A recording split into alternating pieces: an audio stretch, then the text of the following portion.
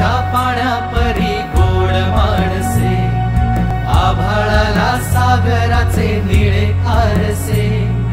दरी खोरे कपारीत चंदेरी झरे.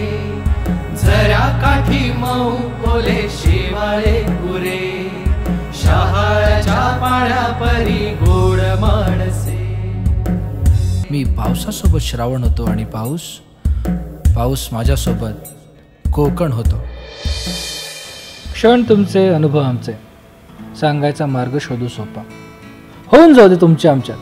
थोड्या गप्पा टप्पा.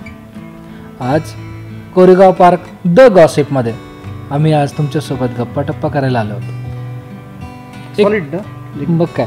गप्पा टप्पा ॲट द गॉसिप गप्पा टप्पाबद्दल बोलायचं म्हणजे जुन्या आठवणींमध्ये जायलाच हवं. नाही खरे तर माझी आणि अंबरीची ओळख दोन हजार आठ सालापासून. त्यावेळेस आमचा एक वेगळा ग्रुप होता द क्रिएटिव्ह बाईट्स म्हणून.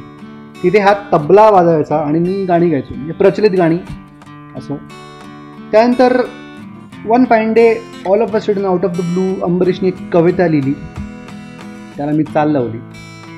आणि ती आम्ही सादर केली. लोकांना ती खूप आवडली. तुफान चालली ती.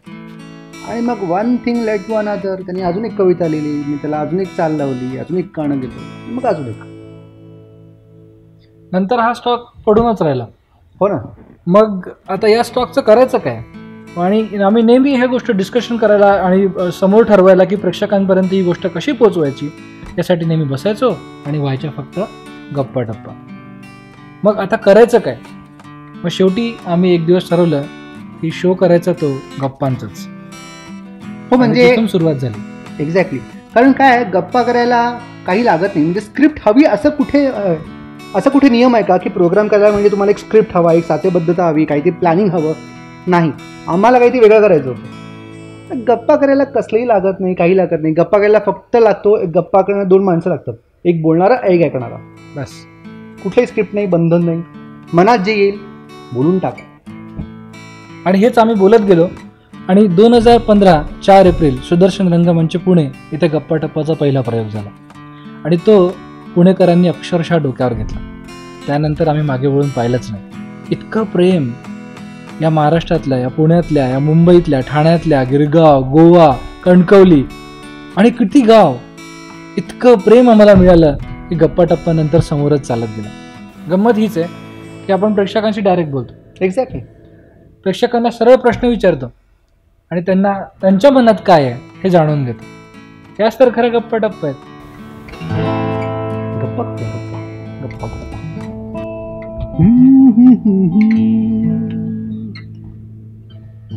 दूर तारा निखळताना तुला मागुनी घ्यावे। मिठीमध्ये मिसळताना तुझे तुझे विभावे। प्रेम रंगी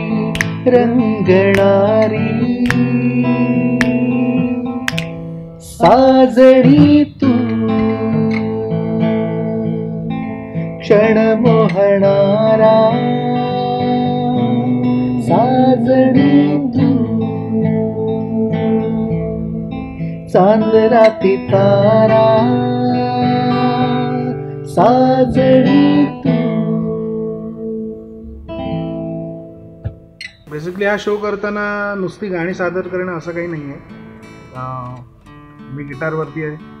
काही गाणी गिटारवरती कंपोज केले आहेत मी. ज्यावेळेला मला अंबरीशने सांगितलेलं की असा असा एक शो आहे आणि असं असं आपण करायचं आहे तर दोन मिनटं मी विचार करत होतो की मी काय करणार? तर मी संगीत देणार की काय करणार?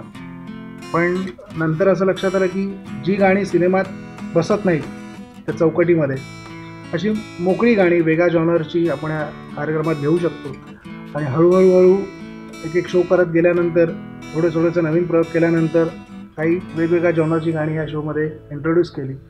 त्यातलं रिसेंटली आम्हाला बरेच चा काही गाण्यांचे खूप चांगले चांगले लोकांकडले रिव्ह्यूज आले त्यातलं वन ऑफ द एक बेस्ट सॉन्ग एक कप कॉफी त्याचं जॉनर खूप कम्प्लिटली वेगळा आहे. आणि हेच की जे काय आम्ही प्रयोग करतो हे लोकांना आवडत आहे. म्हणजे एक तर मराठी गाण्यांमध्ये गिटार नसते शक्यतो. आणि असली तर ती फार थोड्या प्रमाणात असते पण गिटारवरती मराठी गाणी फार कमी होतात. तर हाच सगळ्यात मोठा माझ्यासाठी एक चॅलेंज होतं की काय करायचं. आणि ते ऑन स्टेज एका क्लासिकल सिंगरकडनं ती गाणी गाऊन घ्यायचे. पण तो प्रयोग केला आणि तो लोकांना आवडतोय. सो आणि आम्हालाही आवडतं की आम्ही अजून काहीतरी नवीन नवीन करायचा प्रयत्न करतोय. सो चालू आहे. जसं शो येतील तसं तुम्हाला नवीन नवीन गोष्टी कळतीलच. मला तर असं वाटतं की गप्पा टप्पा हे प्रत्येक मराठी घरात प्रत्येक मराठी मनात जायला हवं पोचायला हवं.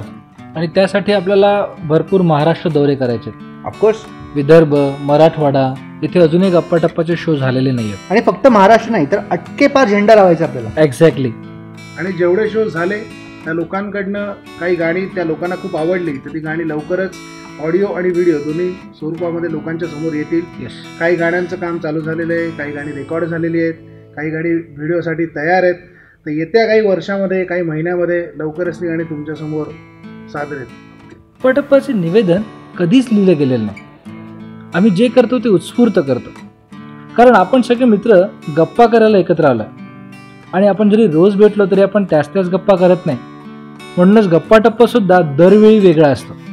अख्खा शो नवीन असतो. म्हणजे सांगायचं झालं तर तीन गोष्टी आहेत. एक एक्सपेरिमेंटल दुसरं म्हणजे अकॉस्टिक आणि तिसरं म्हणजे अनस्क्रिप्टेड आणि त्यामुळे गप्पा हा साचेबद्ध कार्यक्रम न होता एक फ्री फ्लोईंग कार्यक्रम होऊन जातो जिथे सगळेजण इन्वॉल्व्ह होतात. आणि ऑन द फ्लाय जे होतं ते ऑन द फ्लाय होतं. कुठेही स्क्रिप्ट नाही काही नाही. प्रेक्षकांना सुद्धा माहीत नसतं की पुढे काय होणार आहे. त्यांना इथे इन्वॉल्व्ह होणार आहे व्हायचं आहे किंवा नाही व्हायचं आहे. आम्हाला इनफॅक्ट माहीत नसतं कोण काय बोलणार. सो इट्स मजा येते. It's a new experience every day yes म्हणजे प्रत्येक जागेचा एक एक वेगळी एक त्याची काय म्हणतो आपण ओरा असतो नाही कारण मग पुण्यात गेलं की पुणेरी हवा मुंबईत गेलं की मुंबईची हवा. मग त्या त्या प्रेक्षकांसमोर गेल्यानंतर त्या त्या टाईपच्या गप्पा होत्या म्हणजे आम्हाला लोक प्रश्न विचारतात की गप्पा टप्पाची ओळख तुम्ही काय सांगू शकाल? गप्पा टप्पाची ओळख प्रत्येक कार्यक्रमात ही वेगळीच येते. गप्पा टप्पामध्ये आमच्या तिघांसोबत आमचा एक कलाकार मित्र सुद्धा असतो. प्रतीक कानडे. प्रतीक एक उत्तम गायक आणि संगीतकार. थोडंसं एक सांगू शकतो की व्हर्च्युअल जगामध्ये आपण सगळेच रमतो. की ते कुठलाही ॲप असो किंवा काही असो. पण समोर भेटूनही गप्पा मारण्याचा आनंद एक वेगळा असतो. तोही प्रत्येकाने घ्यावा. असा एक छोटासा संदेश आम्ही देतो. जसा आमचा गप्पा टप्पाचा एक प्रोग्राम आहे.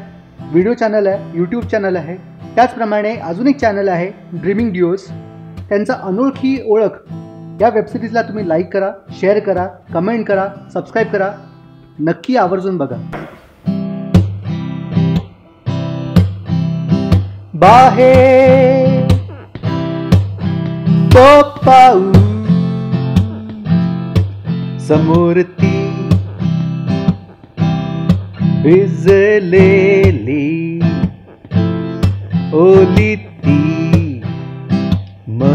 जुरवणारी एक कप कॉफी. एक कप कॉफी. एक कप कॉफी.